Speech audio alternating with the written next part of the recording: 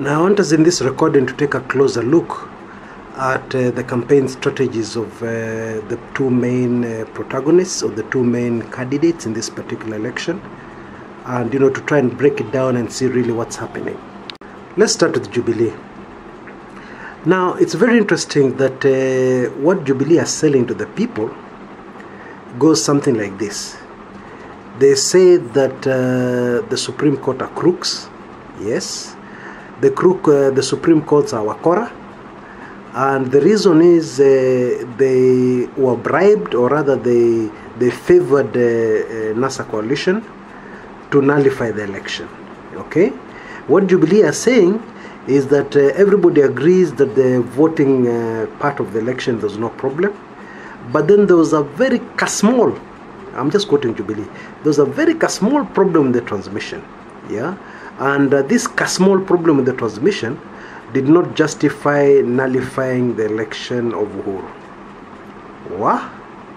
Now we all know that that is not. Uh, I won't even call it stretching things. Eh? We all know that that's a blatant lie. Okay. Uh, the true picture, the true position is that uh, even if the uh, voting went okay, transmission is not a small problem because transmission is transferring the results, the correct results, from the polling station to the tallying center, to IEBC, or rather from uh, the polling station up to the constituency level, and then from the constituency level up to the tallying center, IEBC tallying center. Okay. Of course, the polling station also sends uh, a copy transmission to IEBC immediately, but then of course this is for confirmation purposes, verification, so that the figures should be the same. So that when the IEBC uh, people get the figures, they're not supposed to tamper with them. All they do is look at them and confirm whether what they got from the polling station when they added up is the number which the constituency uh, uh, people beamed in. Yeah, it's as simple as that. But uh, you see, if there's a problem with the tally, it's not like a small problem. Because if, if you got two votes at the polling station and what was transmitted was 20, that is not a small problem. Okay? Uh, the actual truth is that there was massive fraud on the side of Jubilee. Okay? But anyway, this is what Jubilee are telling people. Now, the next question, of course, is the, are people swallowing this? You know, to be very honest with you, I really get amazed who actually does the strategies, strategizing for Jubilee. Yeah, I actually really want to know. Yes, because uh, in my view, they're not doing a good job. In fact, in my view, they're doing a terrible job. Okay, because the truth of the matter is that nobody is believing that on the ground. Okay, uh, the sort of things we're hearing on the ground are, hey, hawa watu waliiba kura na high tech, eh? waliiba kura mtanda, kwa mtandao things like that okay now if i was jubilee if i was the strategist for jubilee a much more effective strategy would have been to isolate you know tell people oh you know uhuru is a good guy the people stole the votes were uh, a small group of people who are very desperate that uhuru should go back so that they continue using him uh, uhuru has already identified these thieves within his cabinet and is going to deal with them. And this small group of the of people are the ones who are spoiling the name of Uhuru, blah blah blah. That would have been more believable. Yeah, that would have sold this candidate much better. But as it is, but they have given a very good strategy there, and I'm not charging. Eh? I should send an invoice to Jubilee.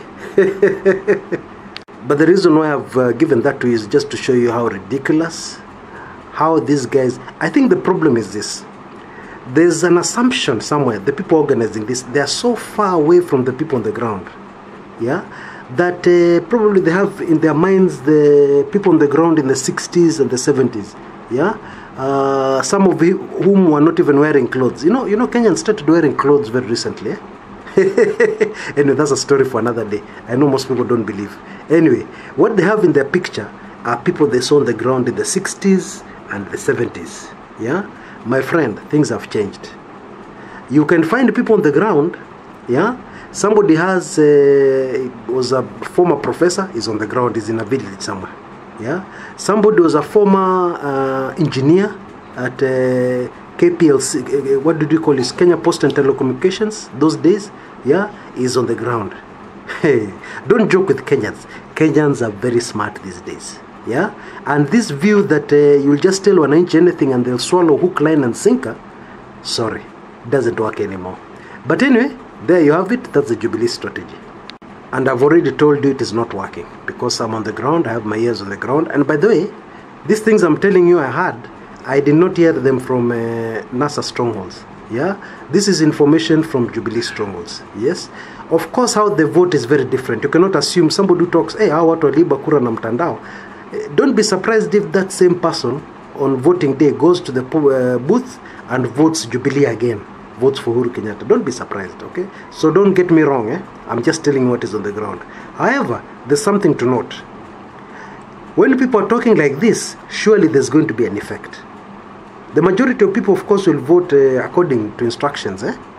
But don't be surprised if a few people go in a different direction. Yeah? Anyway, that is a Jubilee strategy for you. Now, in the next part of this recording, I'm going to go into the NASA strategy. That should be very interesting. And I'm also going to speak a bit about what I think is going to happen with the Jubilee strategy. Okay? You know the drill. Uh, click on that uh, link on the top left hand corner of your screen, and within seconds, you should be in the second uh, part of this recording. This is Chris Kumekucha. See you there in a bit.